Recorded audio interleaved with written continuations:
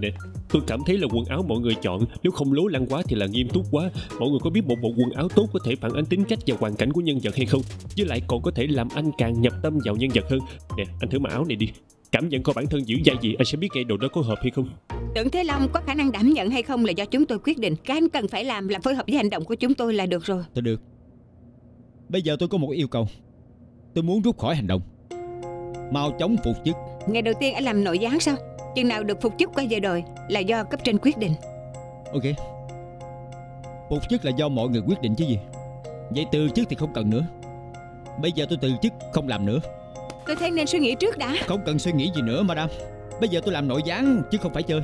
Không phải làm tin tức. Không phải nói một câu xin lỗi là có thể bấm máy làm lại. Mạng người đó. Có cả một tên lính quèn ở bên cạnh tôi. Nè nếu tôi xảy ra chuyện gì Có phải cô đền lại mạng cho tôi hay không? Hai người thử cảm nhận đi có phải không thể hòa nhập vào nhân vật đúng không? Bây giờ có lẽ hai người đã biết rõ nên chọn bộ đồ nào Để phù hợp với nhân vật tưởng Thế Long này Phải không? Bây giờ chúng ta làm điều tra nhiều hơn nữa đi. Nè Tưởng Thế Long lớn lên ở bên Mỹ. Hai người có thể tham khảo thêm những phim xã hội đen của bên Mỹ Thí dụ như là phim uh, Scarface Mặt nạ sẹo của A.I. Pacino.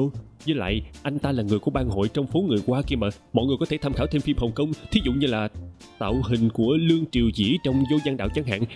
Hay là tạo hình anh Mark của anh Phát trong Anh Hùng Bản Sắc? đồ Tìm cho anh ta đi. Xác đàn ông bí ẩn nổi trong đầm nước. Giống như hắc bang thi hành gia pháp. Người đàn ông bí ẩn này Tên là Phát Mặt Sẹo. Là đồng nghiệp của chúng ta.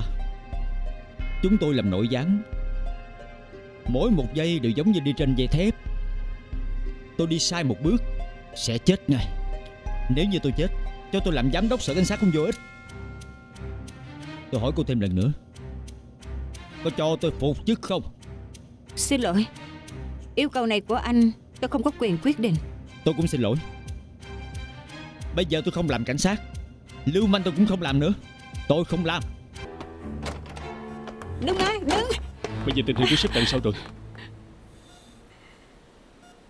À, Bây giờ bệnh nhân đang hôn mê Nhưng cách đây một tiếng Nhịp tim của ảnh đã ngừng lại. Bác sĩ đã tiêm mũi thuốc trợ tim cho ảnh. Bây giờ tình hình ổn định rồi. Thì ra giấc mơ đó chính là thật Lúc nãy sếp Trần thật sự xém chút ra đi rồi.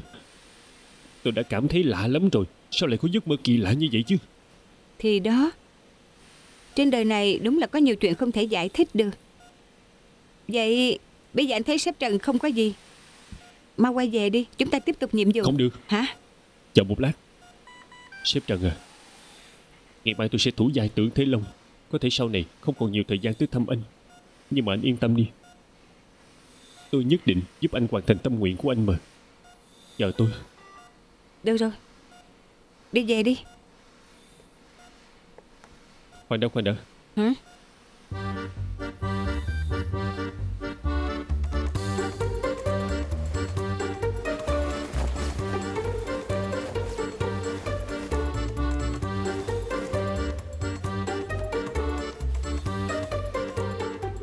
Sao sếp Trần mặc sắc phục gì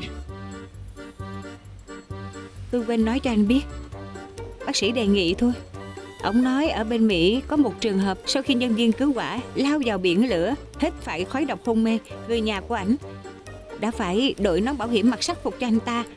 Anh ta liền tỉnh lại. Cho nên chúng tôi đã bàn bạc với bác sĩ quyết định để xếp Trần mặc sắc phục suốt ngày đêm. Giám đốc cũng đã duyệt rồi. Hy vọng làm vậy có thể kích thích cho ảnh để ảnh tỉnh lại trong kỳ tích.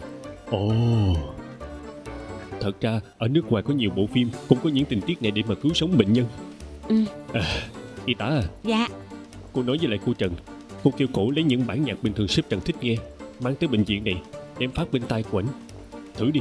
Dạ được, dạ được. Ok. Trước tế luôn. Anh nhìn đầu của anh đi. Hối hả chạy tới đây ướt hết rồi. Anh đi rửa mặt trước đi. Ok